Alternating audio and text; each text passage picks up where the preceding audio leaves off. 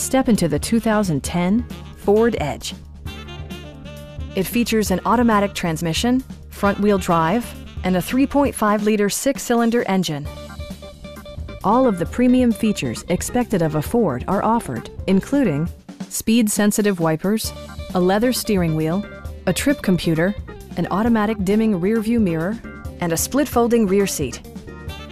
With side curtain airbags supplementing the rest of the safety network, you can be assured that you and your passengers will experience top-tier protection. Our sales reps are knowledgeable and professional. Stop by our dealership or give us a call for more information.